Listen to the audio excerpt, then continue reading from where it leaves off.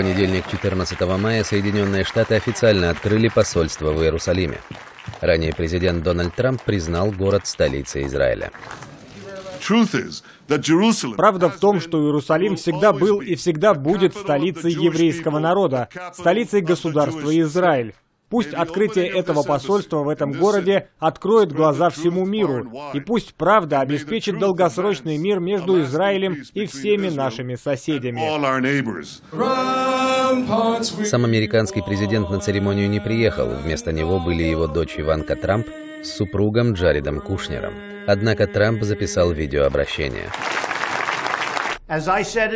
Как я сказал в декабре, наша самая большая надежда – это мир. США полностью привержены тому, чтобы было заключено долговременное мирное соглашение. Мы также продолжаем поддерживать статус-кво святынь Иерусалима.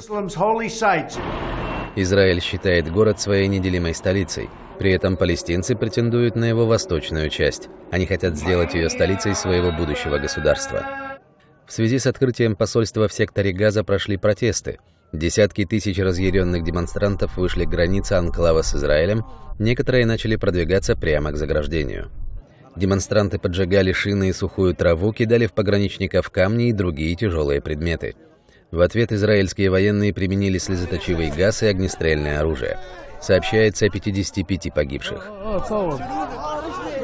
Хамас использует демонстрантов, невооруженных людей, посылая их на передовую. Мы видели, как женщин и детей отправляют вперед, чтобы они повалили заграждение, а затем они второй волной собирались направить вооруженных террористов, чтобы те напали на близлежащие поселки.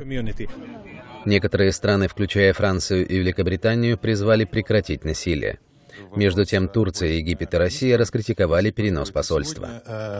Мы убеждены, что э, нельзя подобным образом в одностороннем порядке э, ревизовать те договоренности, которые были закреплены в решениях международного сообщества.